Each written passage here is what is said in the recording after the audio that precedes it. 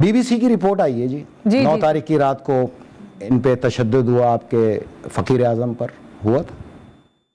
आप, आपसे नहीं वो तो तरदीद हुई है। डीजी ने तरदीद की? है। डीजी ने कहा कि ऐसी कोई बात नहीं है और हम बीबीसी को भी उन्होंने कहा कि ये खबर भी गलत है और इस खबर का जिस तरह से इंदराज करवाया गया चलाई गई वो सब गलत है। अच्छा ये है उनकी inter services public public relation की जो आप ये बता रही यही है ना?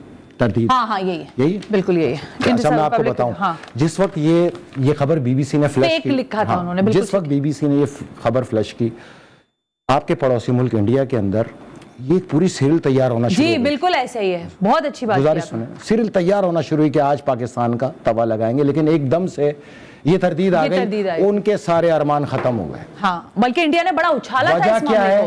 कानून इंसानी है। इंसानी फितरत माशरे और तहजीब और सकाफत पे चला करते हैं। पूरी दुनिया का एक कानून है कि तरदीद आई बात खत्म। बिल्कुल।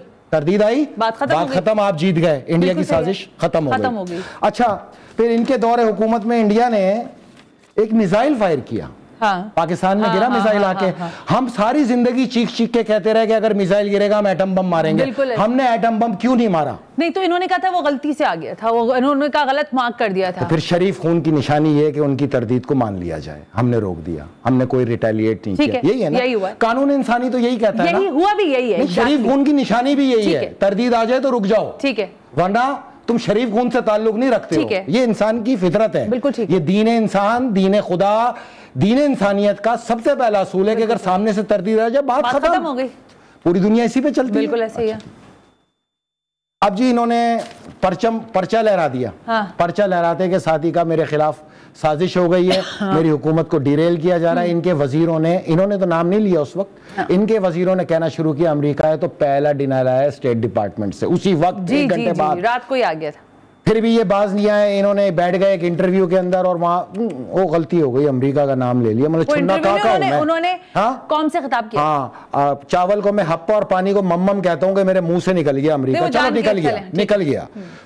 फ़ौरन ही तरदीद आई जी पहली बार तारीख के अंदर वहाँ के वजारत खारजा हाँ, उन्होंने कहा कि हाँ, सेकंड तरदीद आई। सही है। दो तरदीदे हो गई। तीसरा ये बैठ गए फिर एक लाइव प्रोग्राम करने और इन्होंने खुल के अमरीका का नाम जी, लिया। जी, जी. जब इन्होंने खुल के अमरीका का नाम लिया आप हेड ऑफ़ द स्टेट थे। हम्म। वहाँ से व्हाइट हाउस की तीसरी तरदीद आई। तीसरी तरदीद आई। तीसरी फिर भी ये बाज लिया इन्होंने फिर जलसे में नाम लिया।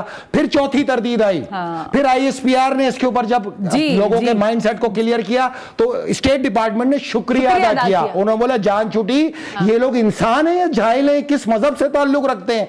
इनके दीन के अंदर इनके तमाम मजाहब के अंदर दीन इंसानियत के अंदर इंसानी तहजीब के अंदर जब हर तरदीद मानी गई तुम पे तमाचा पड़ा तुमने तरदीद को कबूल किया तुम पर यहाँ पे मिसाइल गिरा तुमने तरदीद को कबूल किया। मैं ये पूछता हूँ यहाँ तरदीद को क्यों नहीं कबूल किया गया? यानी अमेरिका की तरदीद yes, क्यों नहीं कबूल किया गया? इंसानियत का सवाल है। पाकिस्तानियत की सियासत का सवाल नहीं है। इंसानी तहजीब का सवाल है जो बैरून मुल्क लोग बसते हैं। वो आज मेरी इस बात का जवाब दें कि आप लोग किस मुँह से वहाँ पे लोगों को फेस कर रहे हैं? वहाँ तो वह बिल्कुल सही बात है किस मुँह से फेस कर रहे हैं भाई? आप अपनी दो कौड़ी की सियासत के लिए हमारी तहजीब और सखावत का कचरा ना करें। पाकिस्तान आपके बाप दादों ने नहीं हमारे बुज़ुर्गों ने बनाए हम इसके अमीन है। हम इसकी सकाफत के अमीन है। हम इसकी तहजीब के अमीन है। फौरी तौर पर यह ड्रामा खत्म होना चाहिए उस तदीद के बाद। हाँ अगर आप अमरीकी पॉलिसीज़ के खिलाफ जाना चाहते हैं हाँ। तो फिर पॉलिसीज़ पे जाइए ना। हाँ। अब मैंने आपको बताया था अमरीका तो खत्म हो गया। हाँ। मैं तो आपको चार प्रोग्रामों से बताता आ रहा हूँ कि अमेरिका खत्म हो गया यूक्रेन से रिवर्स हो गया हाँ। ताइवान से रिवर्स हो गया इराक से चला गया शाम से रिवर्स हो गया लबनान से चला गया यमन से चला गया अफ़गानिस्तान से चला गया तो अब उसकी लकीर क्या पीट रहे हो जिसमें हिम्मत ही नहीं है कुछ करने की लेकिन जहाँ जहाँ से वो गया ना वहाँ दाइश का फितना छोड़ के गया। हाँ, वहाँ आई एस आई एस का फितना छोड़ के हाँ। गया। वहाँ तालिबान का फितना छोड़ के गया। पिछहत्तर अरब डॉलर की पूरी मिलिट्री एड के साथ तालिबान को फिट करके गया जो मुसलसल आप पे हमले कर रहे हैं जिस मुल्क के हम्म। सैकड़ों फौजी तीन महीने में शहीद हो चुके इन तालिबान के हमलों पे।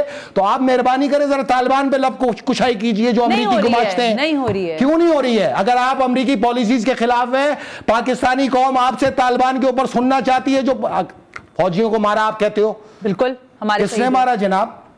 यही टेररिस्ट और तालिबान ने मारा ना हाँ, टीटीपी ने मारा हाँ, ना? हाँ, हाँ, फौज के बयानी है कि टीटीपी हमले कर रही है? बिल्कुल बिल्कुल, बिल्कुल। तो ये टीटीपी के दहशतगर्द किसने छोड़े हमले करने के लिए? अमरीका ने छोड़े। इसने छोड़े इमरान खान ने हज़ारों की तादाद में उस दिन हम यहाँ लाइव प्रोग्राम कर रहे थे जिस दिन इसने टेररिस्ट छोड़े हाँ, थे। वो तो बताया था आपने। याद है आपको? हाँ। तो तुम एक तरफ़ टेररिस्ट छोड़ के अमरीका को यहाँ पॉलिसीज़ को दुआम दो और यहाँ जलसों में खड़े हो गए अवाम को बेवकूफ़ बनाते हो। तुम्हें इंसानियत की कोई तमीज नहीं तुम्हें कोई तहजीब को सकाफत का इल्म नहीं अच्छा। तुम उनके डिनाइल को यहाँ बर्बाद करके पाकिस्तानी कौम का तमाम दुनिया के सामने सर शर्म से झुका रहे हो तुम्हें अगर सियासत करनी आओ करो तालिबान पे बयान दो तुम सियासत करना चाहते हो आओ यमन पे बयान दो जिनको तुम बाकी करार देते रहे हम्म। जहाँ अमरीकी लेट फोर्सेस पैंतीस मुल्क सात साल से आठ लाख यमनियों को शहीद कर चुके हैं पूरे यमन को तबाह कर दिया तुम उनको बाकी कहते रहे